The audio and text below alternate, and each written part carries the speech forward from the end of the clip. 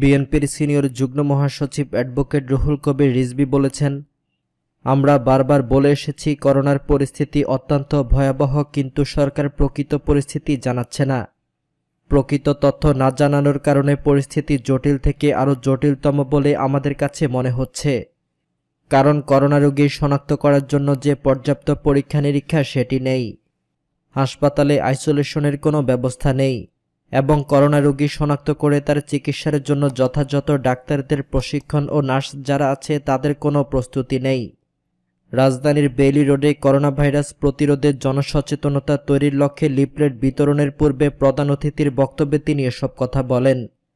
বর্তমানে সারা দেশে কত সংখ্যক করোনা রোগী আছে এর সঠিক তথ্য সরকার তুলে ধরছে না, অভিযোগ করে রিজবি বলেন।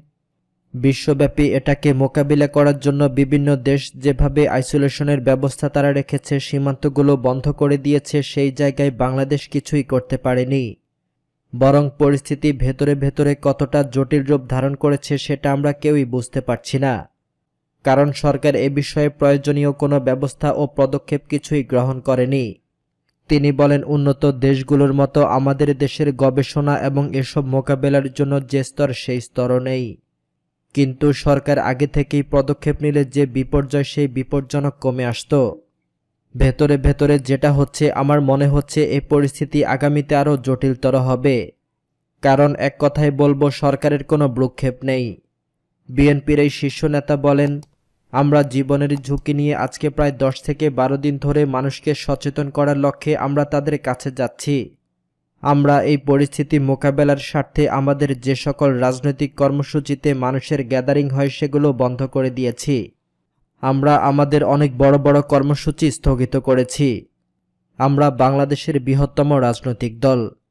আমরা জনগণের পক্ষে, বাংলাদেশের মানুষের পক্ষে এবং জনগণের যাতে উপকার হয় আমরা সেই কাজ করছি। আমাদের হাতে সরকারের অর্থনৈতিক ফান্ড নাই যেটা নিয়ে আমরা ঝাঁপিয়ে পড়ব, তাই আমরা মানুষকে এ বিষয়ে সচেতন করছি। করোনা নিয়ে বিএনপি রাজনীতি করছে সরকারের এমন মন্তব্যের পরিপ্রেক্ষিতে বিএনপির এই মুখপাত্র বলেন, আপনারাই বলুন সরকারের উদ্যোগ কোথায়, তারা কি উদ্যোগ গ্রহণ করেছে? রেজবি বলেন, আপনার কোয়ান্টাম করার যে হাজি ক্যাম্প, ওটা তো আরেকটা মরণঘাতী জায়গা।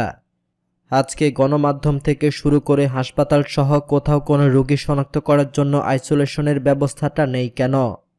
এই বিষয়গুলো আপনারা তাদেরকে প্রশ্ন করবেন। আওয়ামী লীগের উদ্দেশ্যে রিজবি বলেন, আপনারা তো সরকারে আছেন, আপনাদের আপাতত সকল কিছু। কই আপনাদের তো কোনো পদক্ষেপ গ্রহণ করতে দেখছি না। আমরা বিএনপি জনগণের কাছে যাচ্ছি, আমরা জনগণকে সচেতন করার চেষ্টা করছি। অন্যান্য দেশে সরকার যা করছে তা এক্সিকিউটিভ আইনের মাধ্যমে করছে।